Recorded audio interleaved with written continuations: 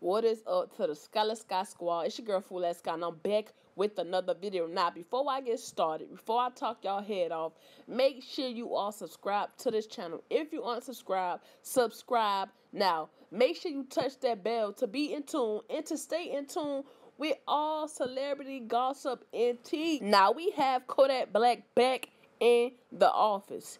He just won't let it go. He loves stirring the pot.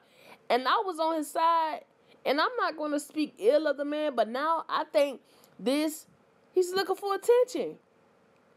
When you are miserable inside, it doesn't matter how much money you have. Miserable is miserable, and now he is looking for attention. Everything was dropped, everything was done, and this is what he had to say again. Dude just want first deals on him. Dude just want the first. He just want the first though, so he like, fix your lip that's right now. Fix your lip. This. Still, dude want first deals on him and shit. Y'all finna be kissing him on that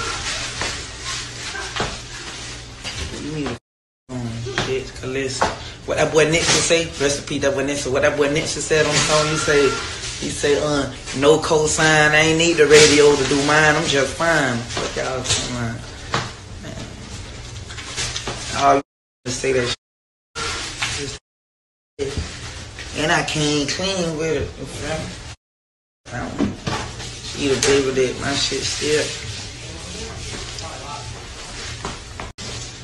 I know it's kind of hard to understand what dude is saying. So basically, he said the reason why T.I. is upset is because he want first dibs on her. And he also added on to that that T.I. needs to mind his business and fix his lip. Nah, Kodak, you going too far, man. Just chill, my guy. Nobody wants to counsel you.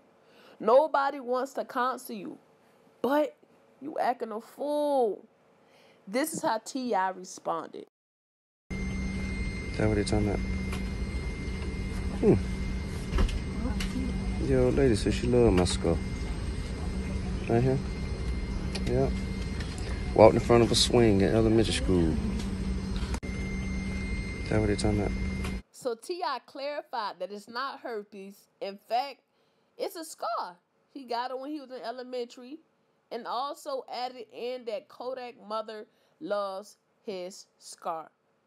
I don't know if he was referring to his mom or his girlfriend. Will this beef or back and forth or debate stop? Because we don't need it. You feel me? RP Peter nip. Let me know what you think in the comment section below. Make sure you like, comment, and subscribe. Do not click off this video without like, commenting, and subscribe to this channel. Touch my bell to be notified every time I post. Be a loyal subscriber and an active subscriber. And we out.